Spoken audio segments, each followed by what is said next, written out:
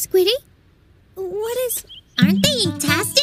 Eiko just gave me this smashing hat with cracking flippers. Oh, Squiddy! You look so good! Oh, tentacle me! You hurt me!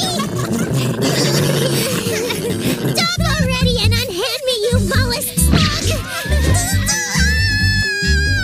That's gotta hurt.